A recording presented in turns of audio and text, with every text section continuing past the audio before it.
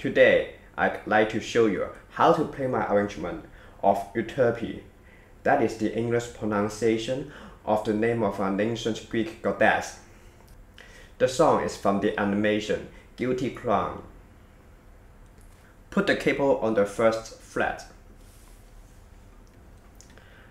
I want to remind you not to make squeaking sounds as you move the left hand, like this.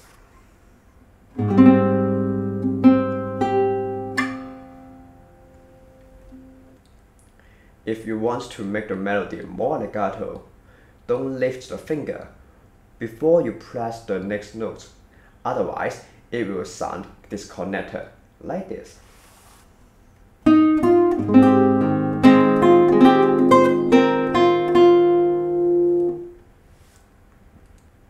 You want it to sound like this.